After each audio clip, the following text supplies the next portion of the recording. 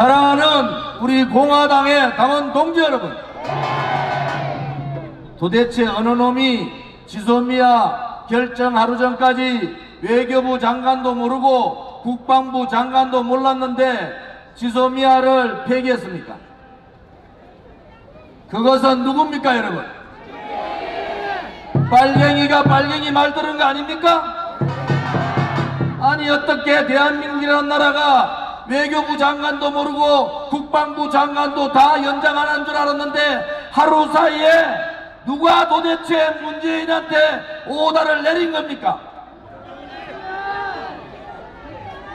여러분 대한민국은 이 한 줌밖에 안 되는 주사파 친북 정부 또한 토착 빨갱이들이 나라를 그들, 그들 내고 있습니다 여러분 그래놓고는 김현종이라는 자가 미국이 동의를 했다는 거짓말 합니다. 그랬더니 미국에서 바로 한국 정부도 아니라 문재인 정부라고 얘기합니다. 거짓말 하지 마라! 바로 얘기해 버렸어요. 지금 이 지소미아 파기는 매국행입니다.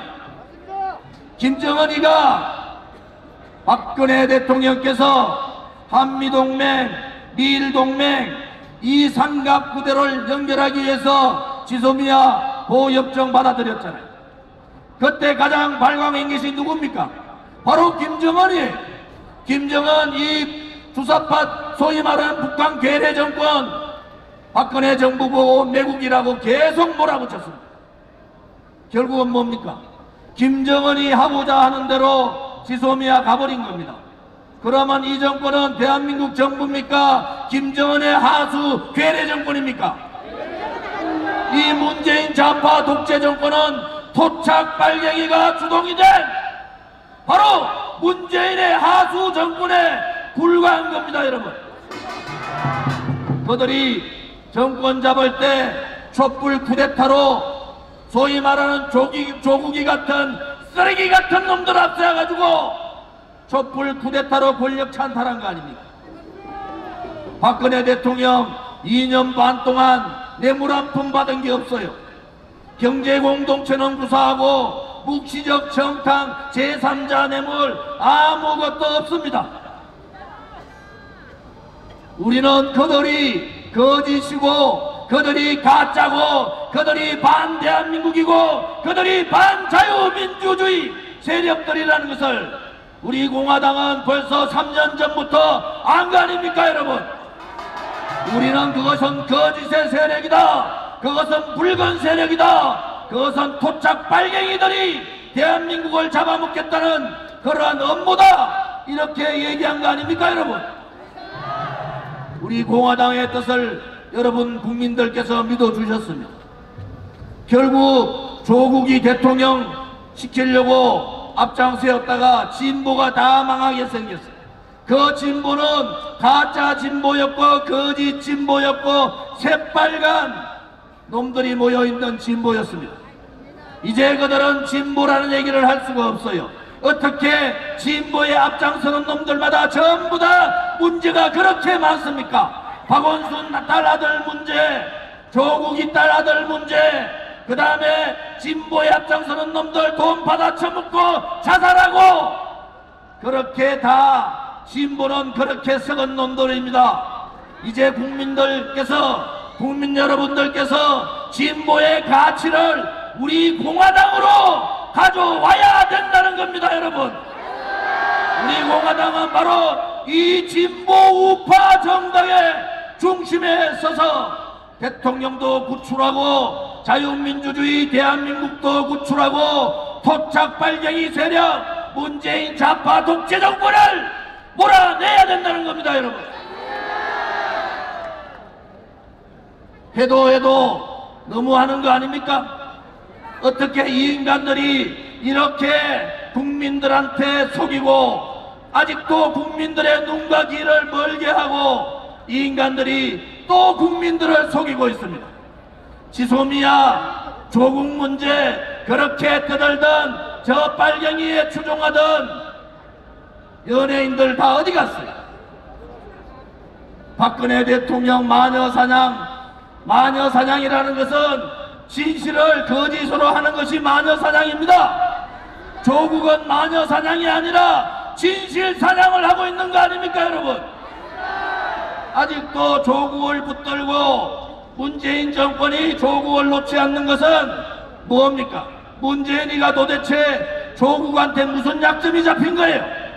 그렇지 않고는 아들, 딸뿐만이 아니라 모든 가족들이 경제 공동체, 소위 말하는 경제 사기단 아닙니까? 경제 사기단! 이 경제 사기단을 어떻게 대한민국의 법무부 장관이 될 수가 있는 겁니까? 내로남불이 아니라 조로 국불입니다.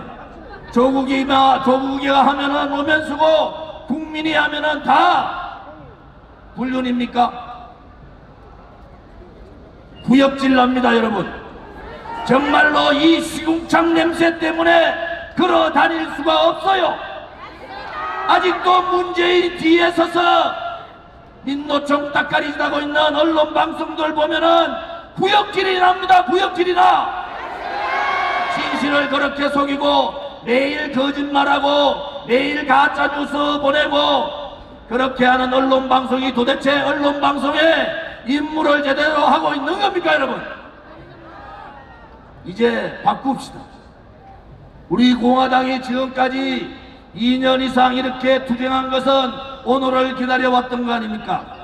좌파들이 이 빨갱이 세력들이 이 종북 친북 세력들이 헐떡헐떡할 때 단숨에 이들을 처없애야 된다는 겁니다 여러분. 그들의 목줄을 쥐고 단숨에 그들을 쳐내야 됩니다. 국민들께서 일어나시기 시작한 거 아닙니까? 국민들께서 진실을 알기 시작한 겁니다. 국민들께서 우리 공화당의 정의의 투쟁을 알기 시작한 겁니다. 그 전초 단계가 뭡니까? 우파를 배신하고 자유민주주의 배신하고 대한민국을 배신했는 김무성, 유성민, 대한민국 국민을 아프게 했는 홍준표 같은 인간들부터 쳐내야 되지 않겠습니까, 여러분? 그들이 아직도 입이 붙어 있다고 나불나불거리는데 그것은 그것은 입이 아닙니다. 그 입에서 나오는 모든 얘기는 더러운 얘기고 그 입에서 나오는 모든 얘기는 대한민국 국민을 화나게 하는 얘기고 그들의 말 한마디 그들의 머리 하나 그들의 생각 하나가 대한민국 국민을 분노하게 하고 있는 거 아닙니까 여러분? 김무성과 유선민과 같은 이 역적 반역자를 처단하자 김정은 따가리밖에 못하는 이 종북 세력들 토착 빨갱이를 몰아내자! 진보의 틀을 서고 대한민국 국민을 40년 50년 속아, 속여왔는 이 진보의 그 껍데기들 한 줌밖에 안 되는 이 껍데기를 몰아내자!